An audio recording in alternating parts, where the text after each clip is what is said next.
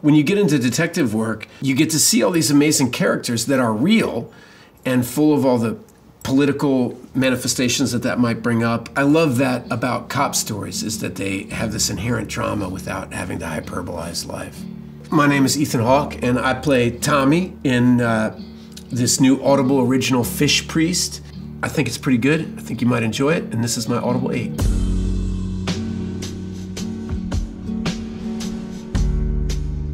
The writing of Fishpriest is basically an old-fashioned crime drama. And um, you know, years ago I did a movie called Training Day, and it felt a little bit in the same vein.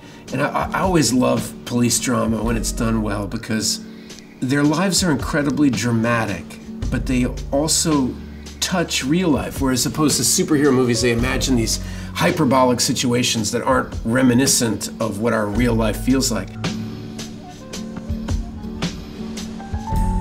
I, I play this cop, and he has a a little club he carries around, which is a fish priest, which is a little utensil club so that you would fishermen use to kill fish and send them to the next world.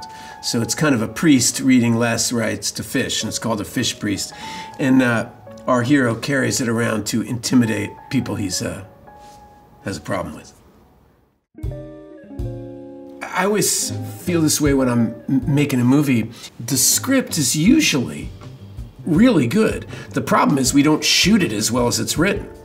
You know, there's all these compromises. It says a, blistering sunrise that evokes God and nature and all things past and present. And so you picture that in your head, but it's hard to shoot. And invariably, it doesn't turn out like such a great sunrise, and we didn't get the sunrise. So actually, let's just make it noon. And what I love about books is you can picture the movie shot perfectly and done perfectly. But an audio experience, you don't you don't have to read it, you can absorb it and you get the benefit of sound design, music, performance. It, it engages your imagination in a way. Movies do so much of the work for you, and most of the time they do it badly. So in a way, this it engages the audience more. Yes, it is more work as an audience member, but I think you get more out of it, more like an experience with literature. I love living in New York City because I do love the way it sounds. I love if you just sit in a cafe and you listen to it, if you sit in the bus and you listen to people talking and the world going by, and you kind of have to choose what you see, but your ear is not discerning. It just absorbs what is, you know? And um, I, I like that.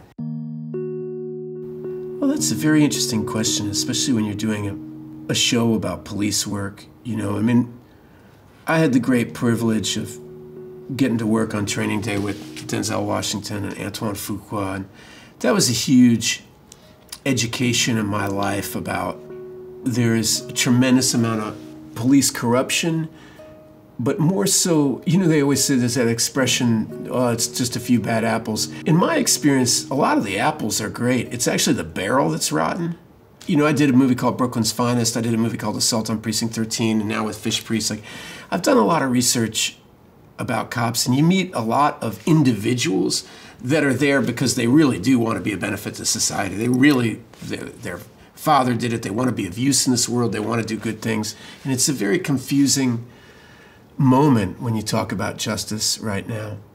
The big grand issues I sometimes think are most easily understandable in personal stories. I care about the ways in which our art and our storytelling help bring us together and help open our eyes and open our ears and open our hearts to the human experience. My first acting class was at the Paul Robeson Center for the Performing Arts. And I've read a lot about him, and I would like to meet Paul Robeson. You know, Born in Austin, Texas, I have to say Jesus Christ of Nazareth. I'd like to. Only three? Well, I'd like to. I, would be interested to put Bob Dylan at that table. I would like. I, I, I want. I, if I could have Bob Marley, Jesus, Bob, Paul Robeson, and Bob Dylan, that would be a hell of a dinner party. But I, I didn't have any women. Okay, so now now we, you don't have a dinner party without any women. So I need Eleanor Roosevelt there. I want Eleanor Roosevelt Flannery O'Connor, Toni Morrison, Tolstoy. I want Tolstoy there. Yeah, the best advice I ever got, I think, was uh, that life is long and there's plenty of time to make mistakes. There are no mistakes, it's how you respond to your mistakes. It's fascinating to watch different people throughout history just completely bottom out and turn that into something beautiful.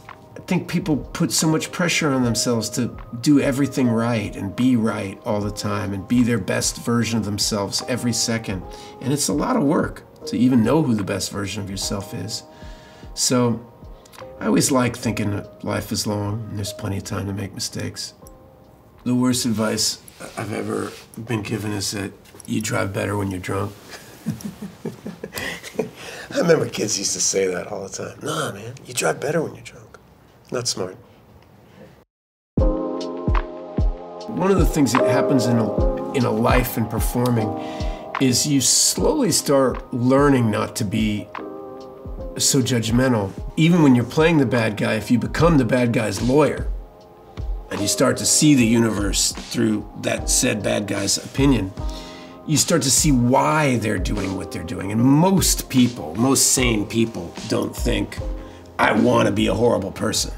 I've always done that, you know, just think of myself as my character's lawyer. What were they thinking? Why did they do that? Why, why might they do that? Why might they think this horrible thing is a good thing to lie about? Or, and by doing that over 30 years, you start to realize by accident, really, and also in playing lots of different people, just seeing the world from all these different angles playing cops, playing criminals, playing priests, playing sinners, you, you start to see that our experiences aren't as unique as we think they are, that all the things that are most important to us, all these things are not unique to one individual. They're true all over the world and all through time. Thanks for watching. Check out Fishpriest, an Audible original, and uh, see Audible something for more videos. Who cares about that? You don't need to. Just watch my video.